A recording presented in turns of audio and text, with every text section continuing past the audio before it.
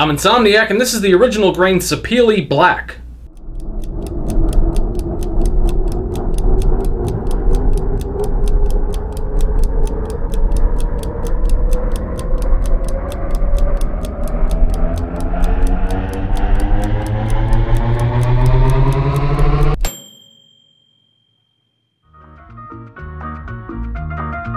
Oh, yo! Insomniac. Insomniac. Insomniac. Insomniac. Well, before I get into this review, I'd like to give Jim a big shout out for letting me borrow this watch. Uh, you've actually seen quite a few of his watches on this channel at this point, and I think I have another one coming up, another one of his as well. He has a pretty cool collection, so thank you very much. Well, let's get into the watch. Okay, well, let's start with the packaging. Uh, as you all know, I don't actually score the packaging in these reviews, but I wanted to show you this because it was not a great first impression. Uh, the outer box, who cares? It's cardboard. I like when people comment on that like it really matters. But the inner box, that to me is the presentation of the watch. I'm wearing the watch, so it's not in there, but here is the box that it came in. It is wood, and it has this loose top on it. It, it looks like an intermediate shop class project in high school. And then you can't smell this on camera, but when you open it, it smells like toxic chemicals like you wouldn't believe. So let's just say that this one did not start off on a good note. The case on this piece is large, to the extent that between the large 47mm diameter, the huge chunky lugs, and the fact that the first links on the bracelet can only flex as far as you see here, uh, this watch actually doesn't fit my 7-inch wrist. Both sides of the bracelet actually hover over the ends of my wrist a little bit, so warning number one, if you don't have a large wrist, this isn't going to work for you. The shape of the case, minus the lugs, is pretty nice, with a bevel all the way around that kind of curves down towards the wrist. The black coating is also done well and looks to be of pretty good quality. Case back is a screw down type, although I'm not sure why when the company doesn't recommend that you get this watch wet, but it is. It's a brushed stainless steel with fairly deep engraving, including the company name in the middle, and a few pieces of information about the watch around the outside. The lugs are ridiculous. They're huge and chunky. You have this fake solid end link type thing here, which isn't part of the bracelet as you can see from underneath. It's actually a part of the case. And from the side, the lugs curve down nicely, but from the top, the lugs don't curve inward toward the bracelet. Instead, you have these giant 90 degree square edges sticking out about a mile further than the bracelet on either side. Then you have the one side of the case where the crown is. There's this weird split line in the side of the case and two circles. I'm thinking that maybe it was supposed to be a subtle addition to the design to make the case look less plain. But number one, if it's just a design cue, why wouldn't they stick that on the side that doesn't have the crown where it's super plain? And number two, whether intentional or not, what it winds up looking like is a case that isn't one solid piece, but rather a thin steel that was bent and shaped until it came together at one point and then was riveted together at this random point. I don't really get it. Next you have the crown, and sadly it doesn't help the score for this case. First, it's too small for this massive tall case. I understand why it's small. The movement is towards the bottom of this vast depth, so the stem has to be set low, and if the crown was bigger, it would dig into your wrist. But it still looks tiny in proportion to the case. Second, it has a little textured pattern and the words Original Grain Watch Co. on it, but realize that I just told you that the crown is way too small and has a pattern on it and four words, and you'll understand why you can't make out any of the text here on camera. And last, you have the operation of the crown. Now it's a quartz watch, so it isn't like you're going to be winding the watch, but because of the beveled case shape, you can only pull out the crown from the bottom of the watch. And the slots on the edge of the crown aren't grippy at all, so if you have big fingers, it could wind up being a frustrating crown to manipulate. And last, you have the feature presentation of this piece, the wood. The bezel on this watch is made out of actual Sapele wood. It's well fitted to the bezel area around the crystal, and the wood itself has a nice quality look to it. But sadly, the wood bezel and the quality of the black finish are basically the only pluses to this case. The dial on this watch, unfortunately, is one of the worst dial executions I've seen on this channel, other than the free watch that I reviewed recently. It's light years better than the free watch, but let's stay on topic here. This dial is a whole lot of wrong, with the exception of one thing, the finish of the main dial surface. The dial surface is a dark slate gray, almost black, radial brushed finish, which does look to be of good quality. Sadly, it goes way downhill from there, like off a cliff downhill from there. Starting with the least of the bad decisions on this dial, the numerals and indices are done as cutouts, kinda like a sandwich dial like you'd see on a Panerai, and the surface that you can see through the cutouts is the same color as the main dial. Now that does look kinda stealthy, so I wouldn't mind that if, number one, the numerals and rectangular indices were slightly larger to be proportionate with the dial's size, and number two, The rest of the dial were done in dark finishes to keep with the stealthy, almost monochromatic aesthetic. The slightly raised applied original grain font is done in gold, and so are the hands. What do those go with on this watch? I don't know. There may be a similar type of color to the Sapele wood in the bezel, but they don't match the Sapele.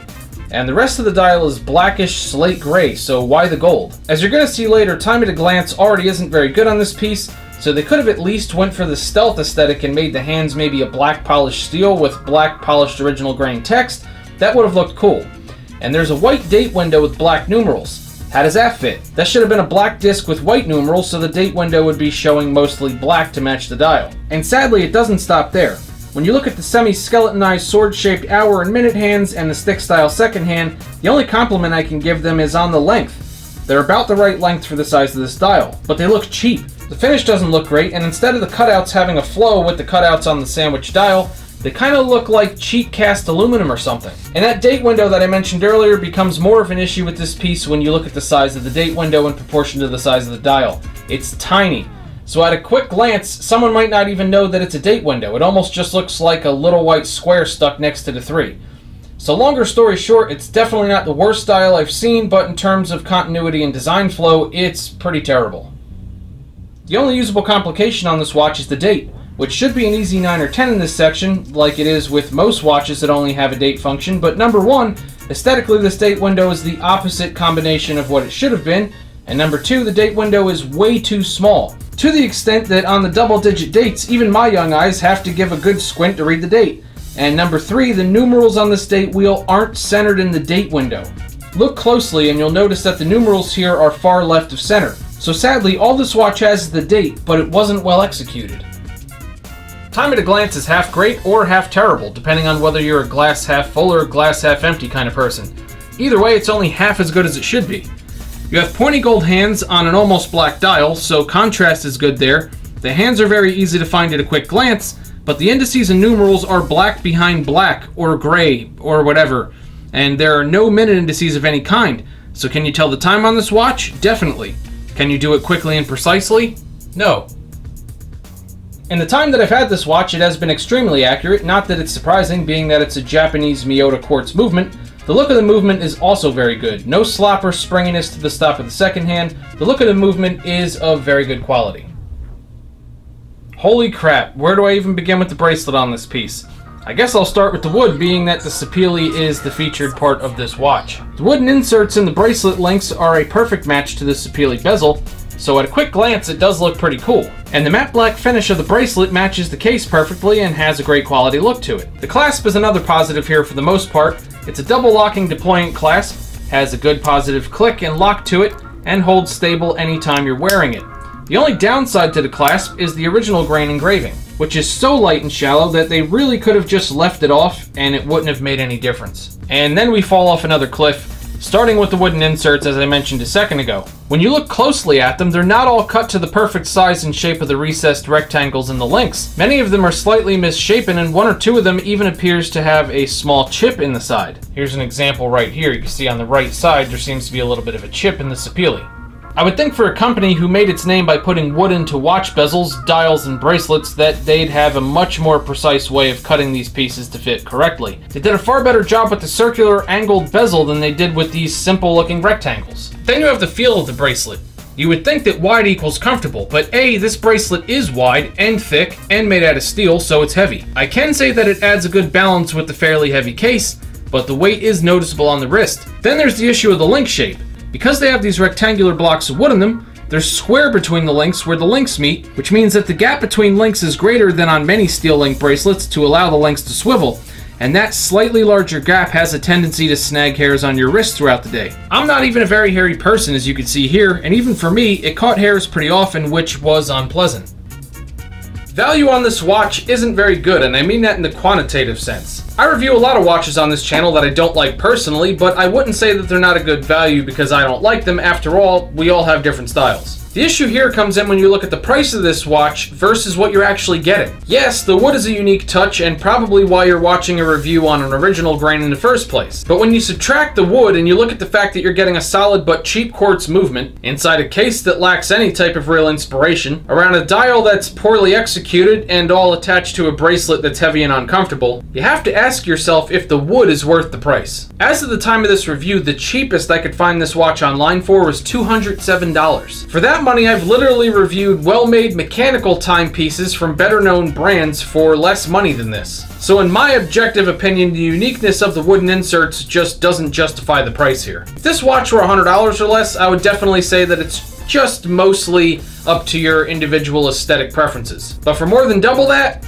I just can't see the value in it. Well, I hope you enjoyed this review. If anything, you're starting to learn that all I do is honesty over here Should I Time This, so if you're looking to see uh, what I would honestly score any watch, including ones that you have, uh, feel free to send them in. I will review them and send them back. You can email me at shouldItimethis at gmail.com. I will tell you where to send the watches, and then I will insure them and send them back to you. And if you would like to see a lot more of these watch reviews, plus have one week early access to all my new watch reviews, and just support the channel in general, uh, definitely get to my link at the top of the video description and sign up on Patreon. And that's it. I'll see you all at the next one.